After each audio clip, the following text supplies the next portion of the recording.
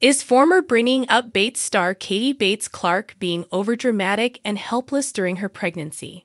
Some fans are beginning to think so. So, what has left fans feeling this way about her? Keep reading for all of the details.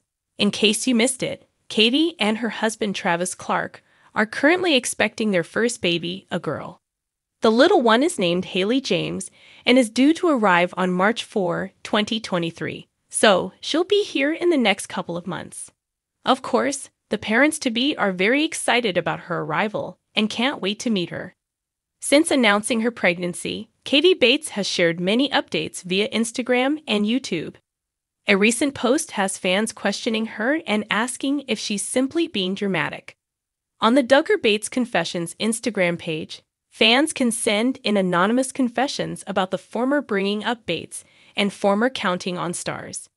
In a recent confession, one fan questioned why Katie Bates required Travis's help to put on her shoes at 29 weeks pregnant.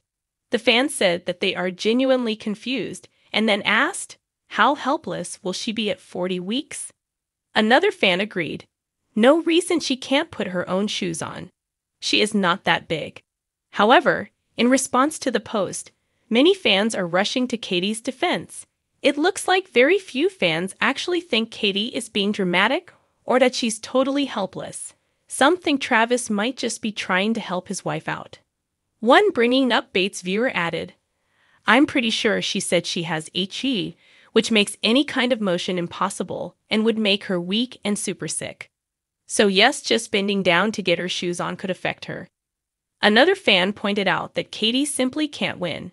They said, and if she put them on herself in the video, you would be the same one complaining that he doesn't help her. So, do you think that Katie Bates is being overdramatic?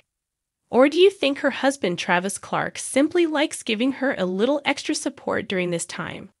Share your thoughts in the comments section below and come back to TV shows Ace for more news about the Bringing Up Bates stars. Plus, be on the lookout for more baby news from Katie and Travis as the due date approaches.